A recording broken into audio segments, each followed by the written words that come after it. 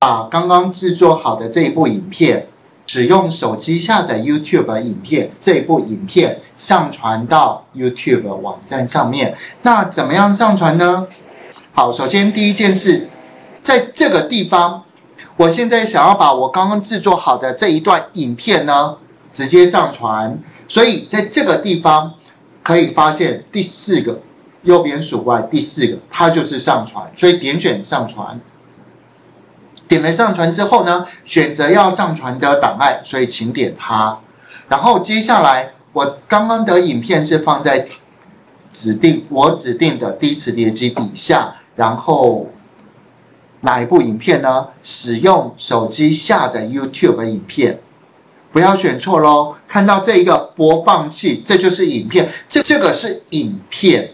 这个是影片档，这个是简报档，所以不要选错了。例如说选到这一个影片档，开启旧档，然后接下来呢，它会把档案名称就直接当做是影片的名称。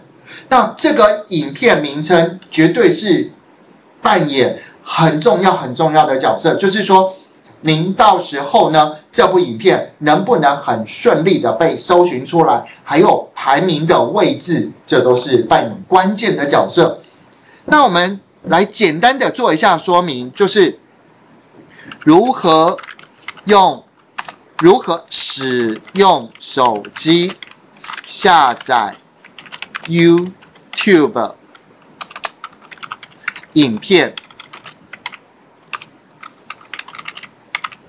然后接下来呢，在这个地方我会把这一个的内容，就是名称呢，当做是就是看我们是不是要把它当做是别的一个讯息，就游标移到影片上面，要不要呈现出来？还有要不要去同时 Twitter 公告，公告让别人知道说，除了 YouTube 有这部影片，Twitter 也可以让。Twitter 知道说有这部影片，所以这个时候呢，您可以输入自己 Twitter 的使用者名称跟电子邮件。假设我们现在先不谈到 Twitter，然后这边有一个叫做使用手机下载 YouTube 的影片，我就直接把它放在这里。当人家游标移过来的时候呢，可以当做是一个资讯影片的资讯。再来。我会把这些影片啊分门别类。举例来说，我今天我是属于 Word 的教学影片，还是属于 Excel 教学教学影片？我会把它建立一个播放清单。所以直接在这边，因为第一次建立一部影片，我会把它建立到这个播放清单。例如说，这关于关于一些好用工具介绍或实用工具介绍，所以我建立一个。播放清单，例如说，建立新的播放清单，叫做实用工具介绍。那因为，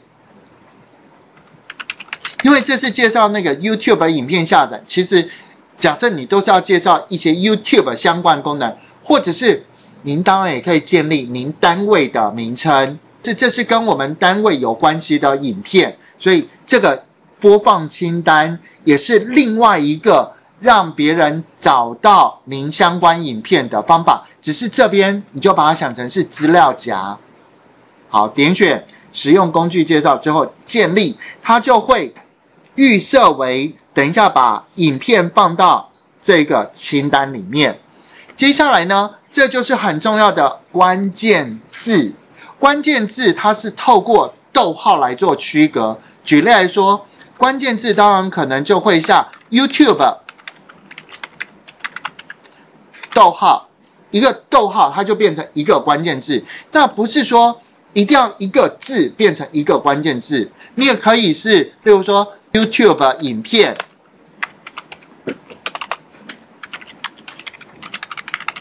逗号，或者是说手机。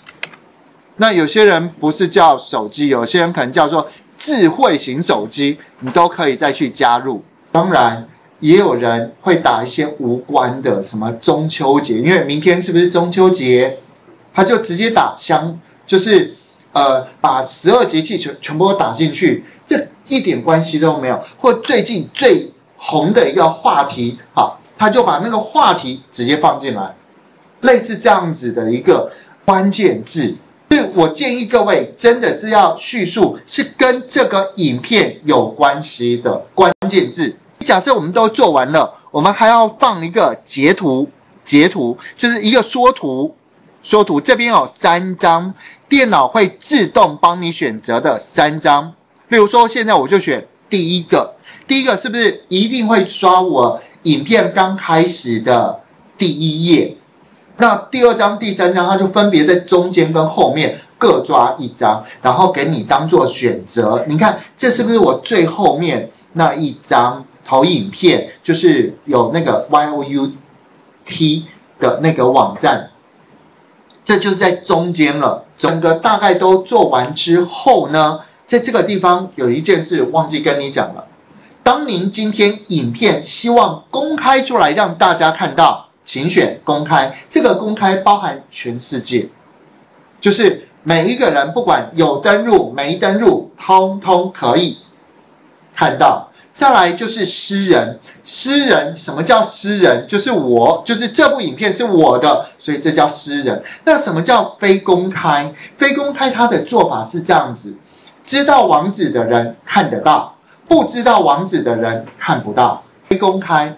假设我今天我这部影片我只要给特定几个人看，那这个时候呢，我可以把这个影片的网址用邮寄的方式寄给那几个人，那就变成它的一种非公开的形式。所以这三种形式可能要请你斟酌选择一下。当我今天公开，就是要让全世界的人都看得到。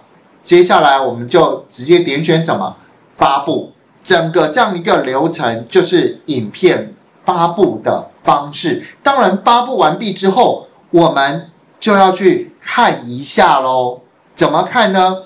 例如说，我就直接点选，你可以点选这边这个网址，然后复制贴上。但是我觉得很麻烦，直接用这个地方点一下，它也可以去让我们看到。更重要的地方是这个分享。你可以分享到，例如说脸书或者是其他的地方，但是你有没有发现，刚好没有 Line，有看到吗？就是没有 Line。可是我们课程一定会教你教到如何透过 Line 来去做，就是影片的一个行销。我只是要告诉你啊，最后点一下它，你去看一下，成功的看到这部影片。